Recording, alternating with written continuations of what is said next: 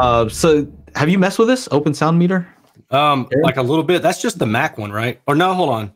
That's FuzzMeasure. Uh, Yeah, they- I don't know if they- I have.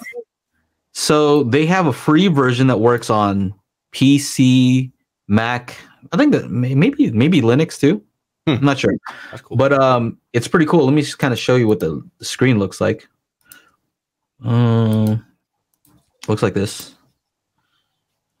and so you can set, you know, three different things here: spectrum, magnitude, phase, impulse, step, coherence. Hmm. Right. I'm not going to go into what every one of these things does. Why is it moving? But- What's that? Is this a video? What's that? Oh, it's Is it measuring right now. This is right now. What is? Oh. What, let's see Oh, what it's uh, Look at your voice. It's 125 to about, I don't know. Mike- Let's see if I can use my uh, Rodecaster Pro Stereo.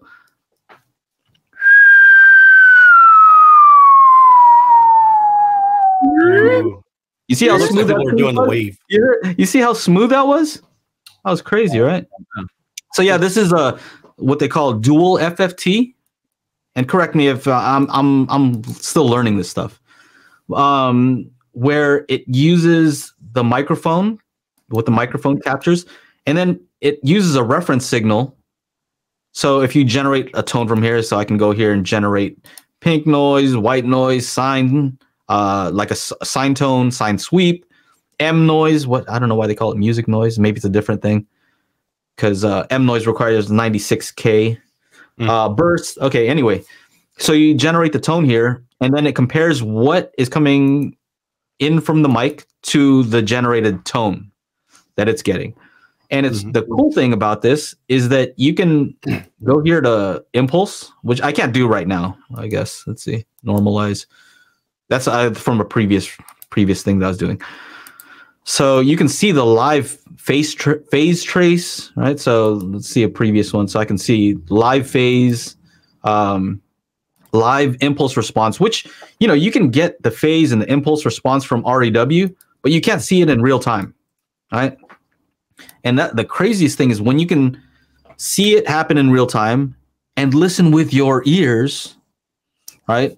And actually hear what is happening. So when stuff is out of phase, what does that sound like? You know, when it's perfectly time aligned, what do what do uh, bursts sound like? Like a impulse. Mhm. You can play that and like, does it sound like tick tick tick tick tick? tick? And then when you align them, it's like tick, one, right? So it's kind of cool to be able to see and hear th- things at the same time. So, like we always say, you know, the measurements do correlate with what you hear. Right? They're not. It's not one thing and another thing. It's just uh, audio is is intangible. You can't really you can't see it. So it helps to see these graphs to be able to visualize what is actually happening. See, you like to visualize too. Yours just doesn't look like this. Yeah. I bet if I plotted out the the location that correspond to where your fingers are. Yeah. Yeah. Yeah. Yeah, that's uh, literally that's all. That's that was just me. I was just like, man, I must look look stupid. Let me videotape this. Uh, uh, Being so- creative is a different thing, right? When you're being creative, you're you're the one who's creating. You're there's no reference, right? Um so yeah, dual FFT, live impulse, and live phase trace, which is really cool. You know, phase is something that's kind of hard to, for me to understand. Mm. You know, it's one of those concepts. It's just not. It's not that easy to grasp. But to actually see, you know, when uh, bass aligns, right? When you when you align the bass, what does it sound like? When you align the high frequencies, what does that sound like? Phase wise, right? I'm talking about phase. And I was talking to uh uh Jacob, Erin, you know Jacob from JL. Oh. Um, Yeah. Is that the dude I emailed? Yeah. Yeah. Okay. Jay. Yeah. Anyway, we're talking about. Was it him or was it somebody else? I talked to a lot of people. I think it was him, but um, hmm, it might have been somebody else actually. Yeah. I, I know who you're talking of- But uh. I, I talked to him with the, about the Max when I was trying to use that for some. yeah, yeah. I think I might have been talking to somebody else actually about this phase thing that I'm about to talk about. Maybe but- Nick. No, this is not somebody from JL. Oh, okay. It was somebody else. I talked to a ton of people when I'm learning something. I try to talk to a bunch of people who are smarter than me and know more and have more experience, and you know they'll let me know if I'm doing something real real dumb. But um, the question was like, what happens when you align the phase in the higher frequencies? Right? We already know like bass, you're supposed to align phase align the bass so that you know you're not getting cancellation. But can you hear? Can you hear the uh, phase alignment in the high frequencies? What's it? What's been your experience, Erin? It just depends. Like if you're messing with tones and pink noise, then and you're adjusting it on the fly, then you can hear it. But it can also do this thing where it can just walk itself out of phase and then just it basically just keeps coming right back around. Like within a millisecond, depending on what frequency you're at, you can have Yeah. three different points. You know where it's in phase, a little bit out of phase, completely out phase, and then in phase, a little bit, completely out of phase. In phase, Yeah. you know, you just walk it in that circle. Um, And the the so tricky just- thing yeah, is it just kind of depends. It's like you can just move a little bit and like, okay, now now that's incorrect. Yeah, all, yeah, all you gotta do is be like, "Er," or or be tired and just yeah, yep. But so here's what I noticed though, because uh, I have a he's still he's he's asleep. He's I'm committed to my art.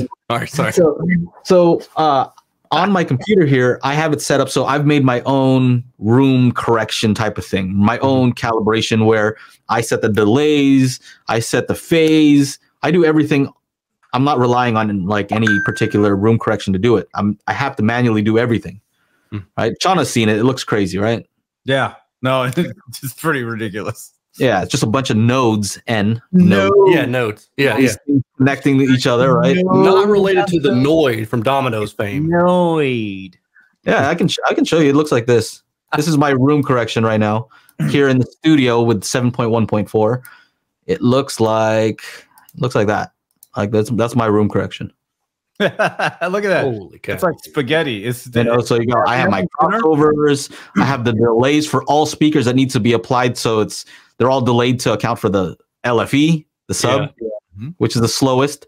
And then I have individual delays for each speaker, and then I have um, just a phase rotation for each speaker also. Mm. And then I could add, I could add like a, I could band bandwidth limit this so I can rotate the phase in a certain area only. oh yeah, cool.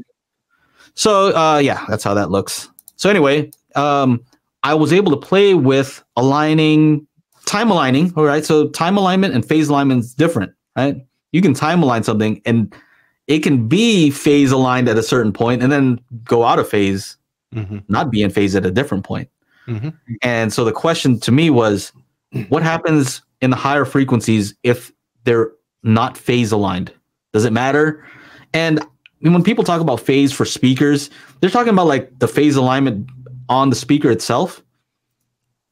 I don't know that that's as noticeable as I'm listening to two speakers that are right in front of me. I can I can reach out and touch them, Mhm. and then I can rotate the phase in the higher frequencies and make them kind of in phase and out of phase.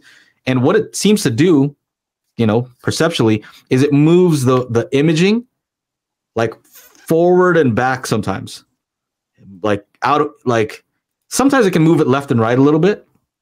They'll move it left and right, but remember, I'm not changing the the the timing. So changing the timing offset will move it from one speaker to the other, right? If you change the the delay so that uh, the speaker on the left has a signal first, and then there's a delay on the second, it moves your perception to like the sounds coming from the left, Mhm. right? And then as you get them, you know, directly uh, in the center, you get the time alignment perfect. The the object is in the center, but then the phase rotation is not timing offset. It's it's changing the phase relationship between the two speakers, and what it sounds like it's doing is it's it's like moving the image in and out, like forward and backwards.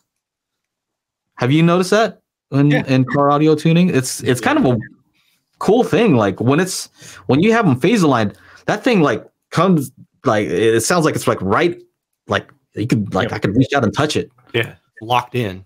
Yeah, it's locked in.